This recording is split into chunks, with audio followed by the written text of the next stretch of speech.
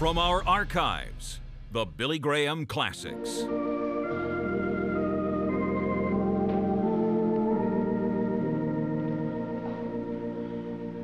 love of God is greater far than tongue or pen can ever tell.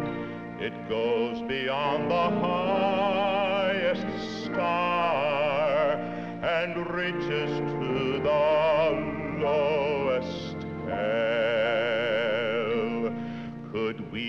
ink the ocean fill, or were the skies of parchment made?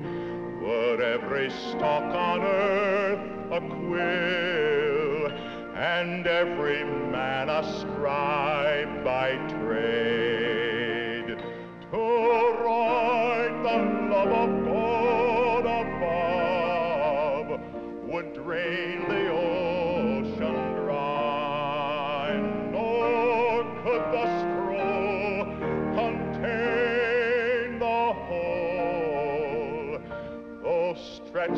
sky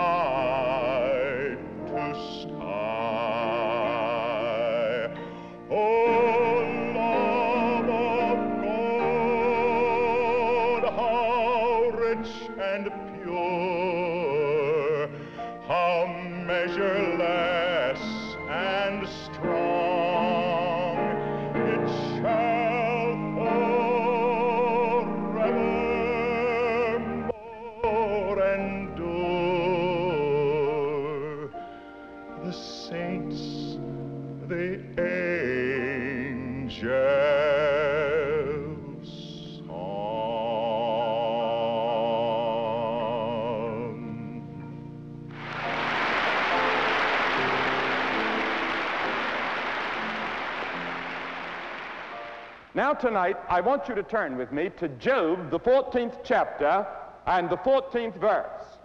Job, the 14th chapter, and the 14th verse. Now, Job is in the Old Testament, and uh, it's the oldest book in the world. There is no known book in the world as old as the book of Job.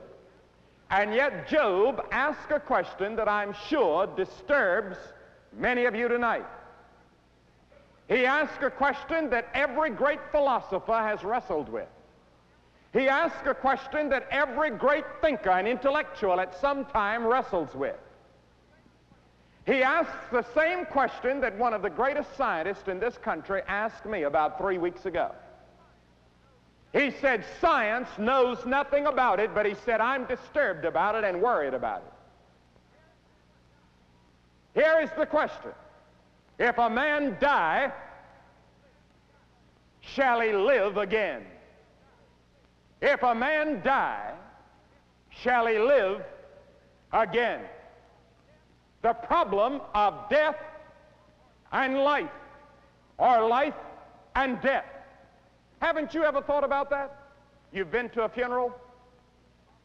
For a few moments, you're solemn, you're thoughtful. That night, you go back, you go to bed, you think about it. One of these days, they're going to be taking me out to the cemetery. They'll be saying some words over me. Is that the end? Is it all over? You know what the Bible says? The Bible says there's a time to be born and a time to die. Birth is a happy event. Death is a tragic event. And we have tears. You take the fifth chapter of Genesis and you'll see the list of all those men that lived to be old men. Adam lived 930 years, but he died. Methuselah lived 969 years, but he died. I read about a man the other day in Brazil that they claim lived 134 years, but he died. At the end of every life is death. Life is very brief. The Bible says it's a tale that is told. It's a weaver's shuttle. It's a flower that fades. It's like the grass that withers. Henry Wadsworth Longfellow expressed it once when he said, Art is long and time is fleeting. And our hearts, though stout and brave, still like muffled drums are beating. funeral marches to the grave. And that's exactly where we're all headed. It is appointed unto man once to die. Thou shalt die and not live. Now, the great question is are you ready to meet God? Because the Bible says it's appointed unto man once to die, but after that, the judgment. There is something after death, according to this book. Now, again, I say I can't take you to a scientific laboratory and prove it to you. But this book teaches from Genesis to Revelation that this life is only a preparation room for eternity. There is another life.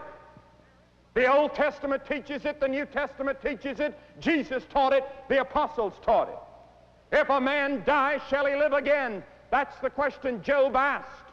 That's the question that millions are asking tonight, and the answer from the Bible is a resounding yes. Yes. There is a life after death. If a man die, shall he live again? Cicero, the great Roman, said, Upon this subject I entertain no more than conjecture. I've spent a great deal of my life searching for the answer. Mrs. Roosevelt, Eleanor Roosevelt, in one of her columns a few years ago said, It's instinctive for man to believe in life after death, and it is. You never find a tribe anywhere in the world, you never find a culture, you never find a civilization anywhere in history that didn't believe in some form of life after death. And when the early forefathers and pilgrims came to this country, they thought they had found some tribes in New England that didn't believe, tribes of Indians that didn't believe in life after death, but they soon found when they communicated with them that they believed in the happy hunting ground. Yes, man instinctively, something down inside says there must be a future life. There must be something beyond this life. But after all, there's only one authoritative person that can speak on this subject. Because he came from the grave. He rose. And his name was Jesus Christ. About two or three years ago, I had the privilege of having an interview with, Con, uh, with Chancellor Konrad Adenauer in his last year in office as Chancellor of Germany. He had invited me. I was preaching in Germany, and he had invited me to come and see him, and I didn't know what about. I was quite surprised and, of course, flattered to get the invitation. And I went. He greeted me. Big, tall, giant of a man. The man that had almost single-handedly brought democracy back to Germany after the war. And I wondered, what does this great man want of me? The first question he asked me was this. He said, Do you believe in life after death? I said, Yes, sir, I do. I said, I believe the Bible teaches it. He said, I do too. He said, I am studying the resurrection of Jesus Christ. And he said, when I leave office as chancellor, I intend to spend the rest of my life studying the resurrection of Christ. Because he said, if Christ is alive, there is hope in the world. He said, if Christ is not alive, there is no hope that I can see that civilization can be saved. Wasn't that something? Yes, Jesus Christ is alive. He rose from the dead, and that day, that Easter Sunday morning, that first Easter, when Mary and Mary Magdalene and Salome went to the grave expecting to anoint a dead body, they saw the angel sitting there. And they said, Where is Jesus? The angel said, He is not here, He is risen. I submit to you tonight that that's the greatest news the world has ever heard. He is not here. He has conquered the grave. He's alive. And ladies and gentlemen, I believe that there's more proof that Jesus Christ rose from the dead than almost any other fact in Roman history. I don't believe there's a fact in ancient history today so well proven as the resurrection of Jesus Christ. But even if there was no proof, no historical proof, no scientific proof, and there is, I would still believe it because I believe this book is God's inspired word. And the whole early church went up and down the country preaching the resurrection of Jesus Christ. That was the thing that shook the Roman Empire. That a man had risen from the dead, that he was alive, that death could not hold him. Christ is alive. He's a living Savior. And yet many of his followers and Christians live and act as though he's dead. He's not dead. He's alive. And the Bible says that at a given moment, a given signal, he's coming back to this earth to set up his kingdom. And what a kingdom it's going to be. It'll be a world in which there will be no tears and no sorrow and no death. There'll be no suffering. There'll be no war. There'll be no police forces. There'll be no armies. It's going to be a glorious world ruled by one person, the Lord Jesus Christ. He's alive. I've given my life not to a dead Christ, but to a living Christ. And I'm following a living Savior. And He's given me a song to sing. He's given me a flag to follow. He's given me something to believe. I have reason for existence. I know where I've come from. I know why I'm here. I know where I'm going. Do you? God said, Hezekiah, get your house in order. You're going to die. Now, you and I are going to die because you see, the Bible teaches that you and I have a body. But living inside of our body is the real you. You're a real person. And that's the part of you that lives forever. Your body is going to go to the grave. But you, the real you, your intelligence, your memory, your personality is going to live forever and ever. According to the Bible, you will never die. And you're going to spend a million years, a billion years, in one of two places, according to Jesus. Not according to Billy Graham, but according to Jesus. Jesus talked a great deal about heaven, but he talked three times more about hell than he did heaven. The other writers of the Bible don't have too much to say about hell, but Jesus talked about it all the time. In the Sermon on the Mount, I've had fellows say, I don't believe in hell. I live by the Sermon on the Mount. Well, you've never read the Sermon on the Mount. Jesus talked about it. Now, what did he mean by it? He said, The Son of Man shall send forth his angels, and they shall gather out of his kingdom all things that offend, and them which do iniquity, and shall cast them into the furnace of fire, and there shall be weeping and wailing and gnashing of teeth. What did he mean? Matthew 25, 41. Then shall he say unto them on the left hand, Depart from me, ye cursed, into everlasting fire, prepared for the devil and his angels. What did he mean? He is saying that hell was never made for man. He is saying that God will never send anybody to hell. If man goes to hell, he goes by his own free choice. Hell was created for the devil and his angels, not for man. God never meant that a man should go there. And God has done everything within his power to keep you out. He even gave his son to die on that cross to keep you out. Because you see, when God made you, he made you a free moral agent. You can live any kind of life you want to. You can live a good life, you can live a bad life. You can break God's laws, you can obey them. You can shake your fist in God's face and there's nothing God can do because when he created you, he gave you a gift of free choice. You're not a robot that he push you push a button and you jump and obey. You've got a right to resist God, to reject God. But the Bible says, in spite of our rebellion and rejection, God loves you. He loves you so much that he gave his son to die for your sins. And when Christ died on that cross, we don't understand all that happened on that cross. But we know one thing, that he took the hell and the judgment that you deserved and I deserved because of our sins. He took it on that cross. And that's why that terrible expression comes from his lips.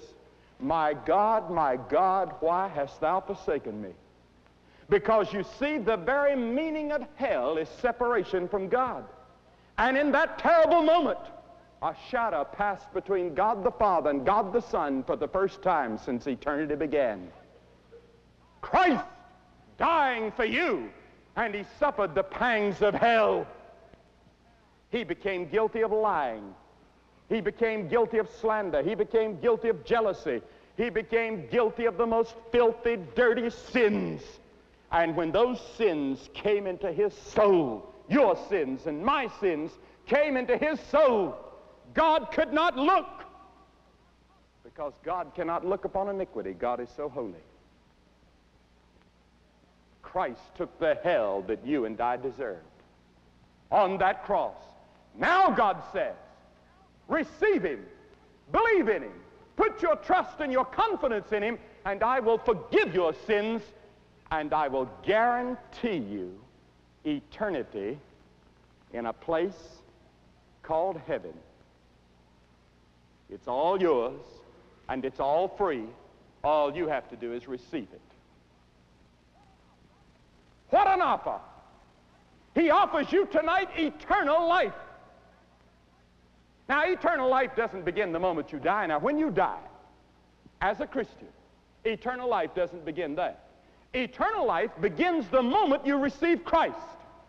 Now, many of you here in South Carolina and in North Carolina and all over the country have been reared in Christian homes. Or you go to a church. You live a fairly decent life, and you're sort of living on the reflected afterglow of your parents' religion. But you've never really received Christ for yourself. You've never really trusted him for yourself. You don't know him really. You're not really sure that you're ready to meet God. And the Bible says, prepare to meet thy God. Are you prepared? Are you sure you're prepared? You know, the Bible says, These things I write unto you that believe on the name of the Son of God, that ye may know that ye have eternal life. I can stand here tonight without being egotistical, without being conceited. I can stand here tonight and say to you on the authority of this book, I know my sins are forgiven. I know I'm going to heaven. I know that I'm going to live as long as God lives because the moment I received Christ, I became a partaker of God's own life. Now I'm going to live a billion years, and I'll only have begun. I know that, not because of any goodness of my own.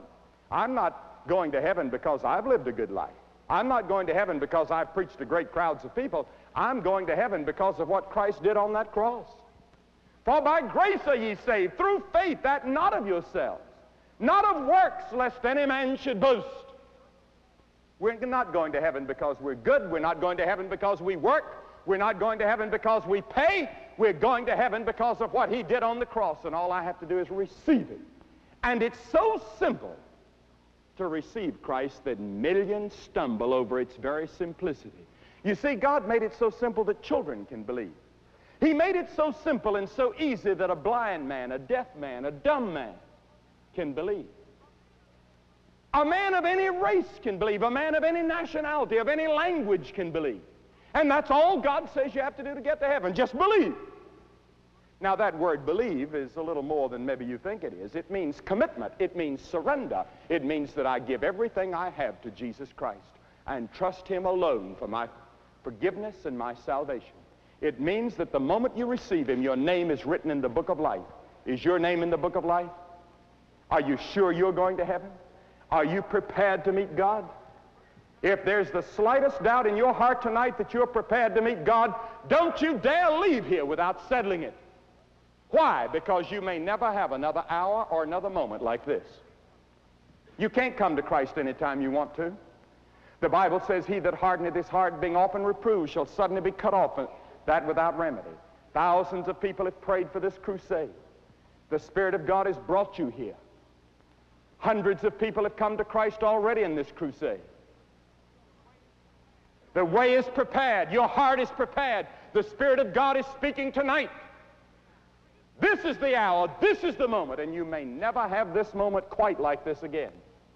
I'm going to ask you to commit your life to Christ, to make sure that your name is written in the book of life, to make sure that you're going to heaven, and to receive tonight eternal life. And here's the way we're going to do it.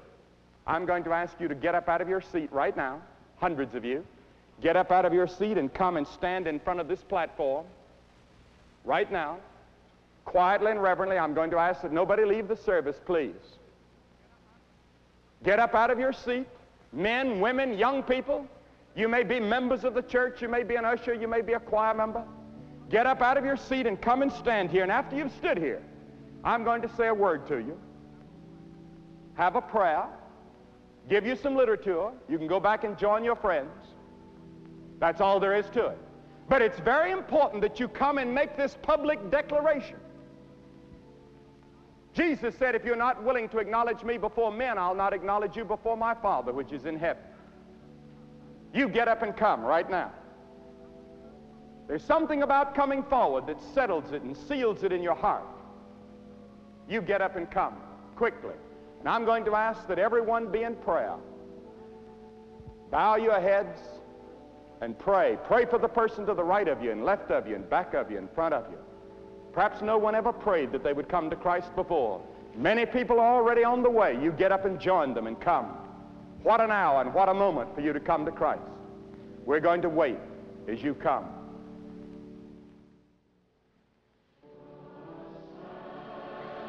You're watching the Billy Graham Classics. Please call the phone number on the screen right now for spiritual help and guidance.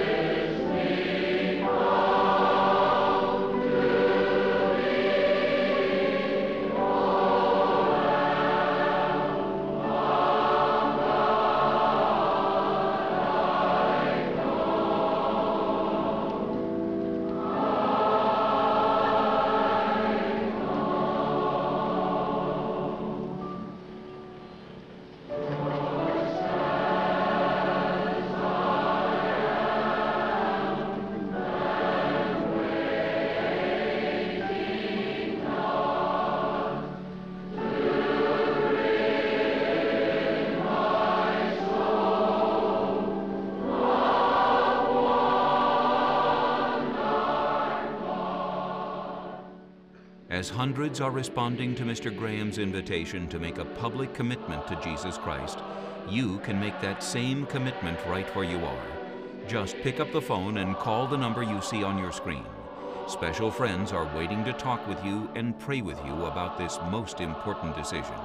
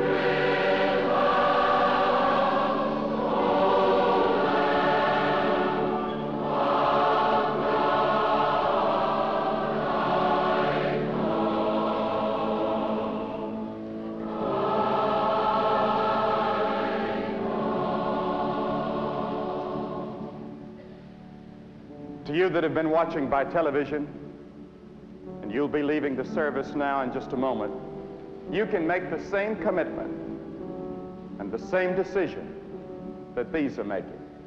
And the same Christ that will come into their hearts and give them assurance will do the same for you. You may be sitting at a bar somewhere. Maybe you're in your living room at home, or maybe you're in a friend's home. Maybe you're in some unusual place that I couldn't even think of at the moment. And you need Christ and you need God in your life. You can receive him right now, and he can bring about a tremendous change. And then go to church on Sunday. Have a talk with a minister. Tell him the decision that you've made. And get to work for Christ. And live in this brand new dimension of living, the spiritual dimension. Good night, and God bless you. If you just prayed that prayer uh, with my Father, or if you have any questions about a relationship with Jesus Christ, I would just call that number that is on the screen.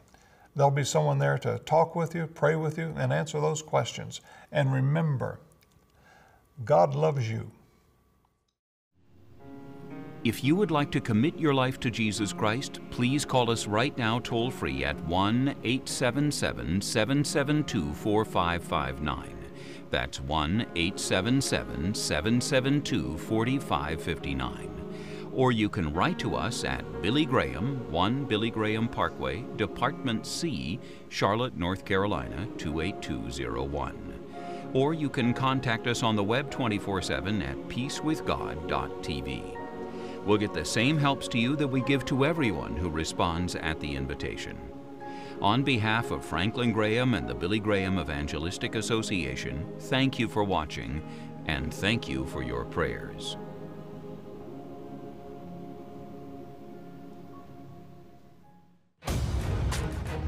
We are to wait for the coming of Christ with patience. We are to watch with anticipation. Scripture says Christ is coming when you're least expecting him coming as a thief. He said, be prepared, get ready. Prepare to meet thy God. Are you prepared?